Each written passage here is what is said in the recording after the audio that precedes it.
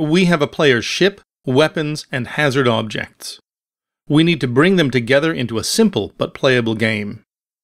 To do this, we need to create a game controller to run our game, to spawn our hazards, keep track of and display our score, and when our player is destroyed, end our game.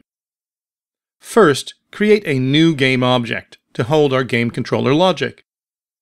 Rename this game object Game Controller. And then reset the transform.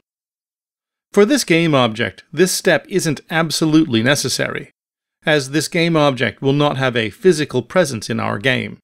It won't have a collider, and it won't be rendered. That being said, it is always best to keep everything in our project neat and tidy, and there is no good reason not to put the game controller cleanly at origin. Using the tag drop-down menu in the header of the game controller game object, select the pre-made tag Game Controller. With our game object set up, let's write our logic. With the game controller selected, use the Add Component button to create a new script named Game Controller. Accept the changes to add this new script to Game Controller.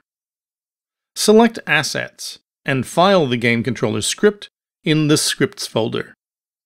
Open the Scripts folder and open the Game Controller script for editing. Our Game Controller will perform several different tasks. The primary task, however, will be spawning the hazards in our game. So the first thing we will need in this script is a public game object reference to our hazard. Next, we need to do something with these hazards. We need to spawn them, preferably in waves for our player to fight through. Let's write a new function to spawn our waves of hazards. Write void spawn waves. Now, we need to call this function. There are some functions that are called automatically by Unity, but most of the functions that we write we will need to call ourselves or they won't be executed. We want our spawn waves function to work for most of the duration of our game. So let's call spawn waves from start. So let's write void start. Unity will call start on the very first frame that this game object is enabled, and then start will call spawn waves. What do we want spawn waves to do? We want spawn waves to instantiate our hazards.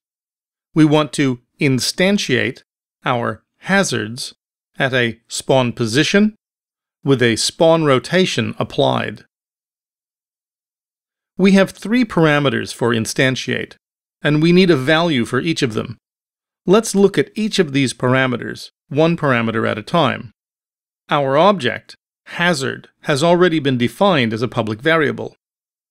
Our spawn position is a vector3 value, so let's create a vector3 variable called spawn position, which we will set to a new vector3. Our spawn rotation is a quaternion value. So let's create a quaternion variable called spawn rotation, which we will set to a new quaternion. Both of these will change before we're done. Let's look at how we can assign working values to these. Hazard is a public variable. We can set this directly in the inspector. Save this script and return to Unity. We can see the hazard property on the game controller component. In the prefabs folder, we can find our asteroid prefab. Drag the asteroid prefab onto the game controller component and drop it onto the hazard slot to create the reference. We want to be able to set our spawn position in the editor as well. Return to our game controller script. For our spawn position, let's define a public vector3 variable called spawn values. Why can't we just use spawn position here? We will see why in just a moment. Patience. Save this script and let's set spawn value in Unity. To help visualize this, let's drag an asteroid prefab into the scene temporarily. So, on what position along the y-axis do we want to spawn our hazards?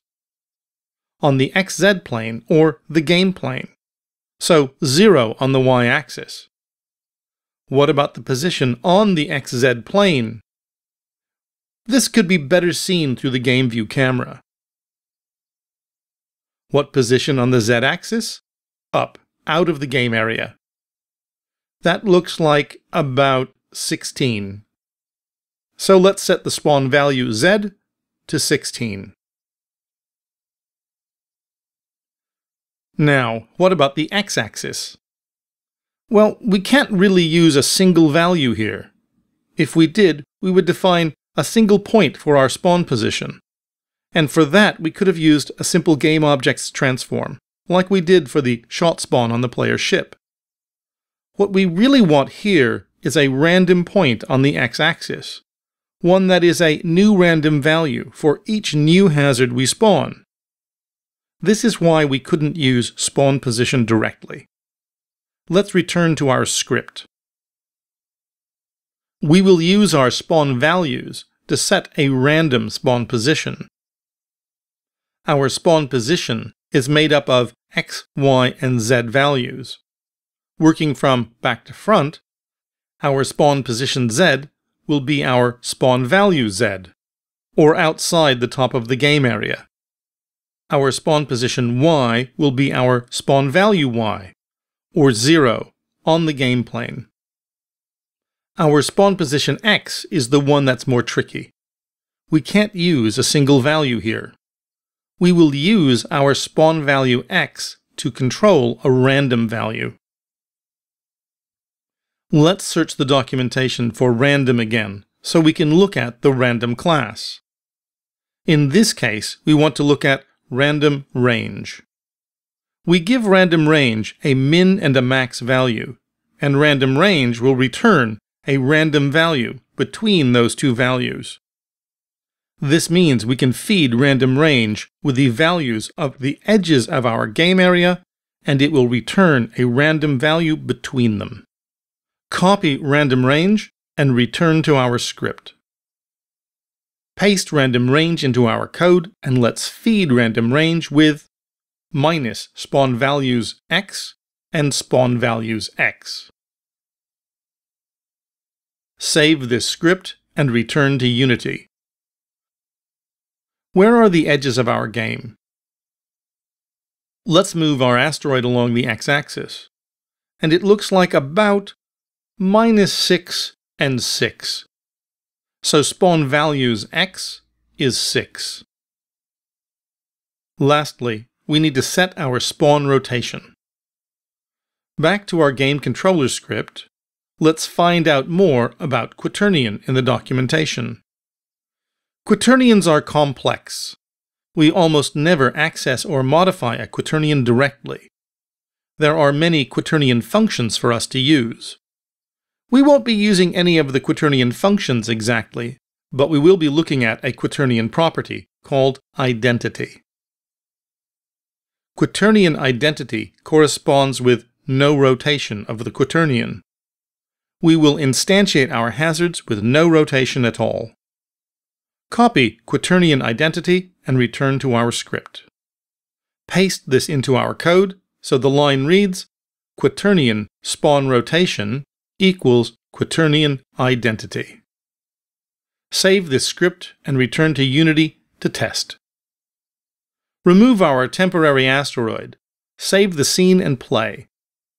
And we get a tumbling asteroid from a random point left to right, starting outside of the game area and moving along the game plane. Let's enter and exit play mode a few times. We can see that our spawn points are random and each new asteroid is spawned at a new random location. In the next assignment, we will instantiate waves of hazards to challenge our player with.